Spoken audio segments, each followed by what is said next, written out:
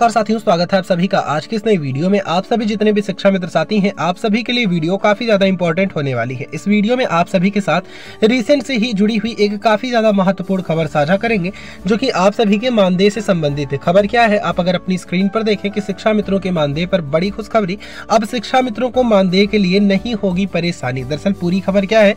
विस्तार पूर्वक एक न्यूज़ की कटिंग के माध्यम से साझा करेंगे तो आप सभी इस वीडियो को पूरा देखें। और अगर अभी तक आप में से किसी भी साथी ने चैनल को सब्सक्राइब नहीं किया है तो ऐसी ही रियल और ऑथेंटिक अपडेट आगे पाने के लिए चैनल को सब्सक्राइब करके बेलाइकन को प्रेस कर लें। अब साथियों, चलते हैं अपडेट पर।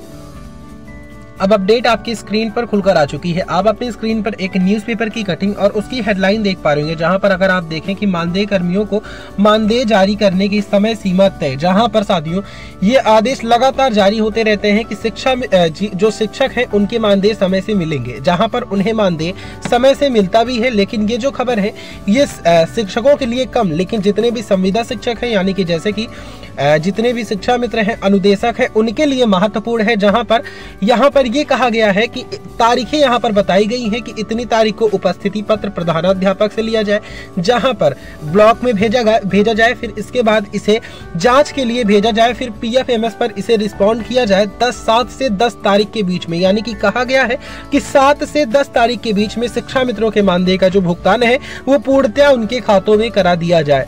जहाँ पर इस, ये तो एक न्यूज़पेपर की कटिंग है, जहाँ पर साथियों, मैंने दो दिन पहले आपको ठीक एक आदेश भी दिखाया था।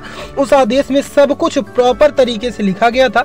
महानिदेशक कार्यालय से वो आदेश जारी हुआ था। लेकिन साथियों, इसके ऊपर जो डाउट है और ये जो मामला है, फीका इसलिए पड़ता है क्योंकि आज से तीन साल पहले लगभग यही आदेश दोबारा से जारी किया गया था। यानी कि वहाँ पर यह कहा गया कि शिक्षा मित्रों, अनुदेशकों का मानदेय समय से जारी किया जाए और ठीक यही आदेश जारी हुआ था, जहाँ पर यह बोला गया कि एक से तीन तारीख के बीच में प्रधानाध्यापक से उपस्थिति उपस्थिति मांगी जाए, जिसके बाद सात तारीख तक आप सभी के अन्य सारे कार्य हों, फिर उसके बाद सात से दस के बीच में मानदेय का भुगतान हो। फ़िलहाल उसकी, उसके बाद बीच में तीन साल के गैप की स्थिति आपको पता है कि किस प्रकार से मानदेय का भुगतान आपके हुआ। लेकिन हो सकता है इस बार कड़ाई से अनुपालन सरकार करे। फ़िलहाल साथियों, ये खबर थी तो मैंने सोचा एक वीडियो के माध्यम से आपको प्रोवाइड कराई जाए। इस पर आपकी क्या राय है, ये कमेंट में लिखकर बताइएगा। और अगर ये वीडियो पसंद आई हो तो प्लीज़ इस वीडियो को लाइक करें और चैनल को सब्सक्राइब करके बेलाइकन को प्रेस कर लें। जय हिंद, नमस्कार।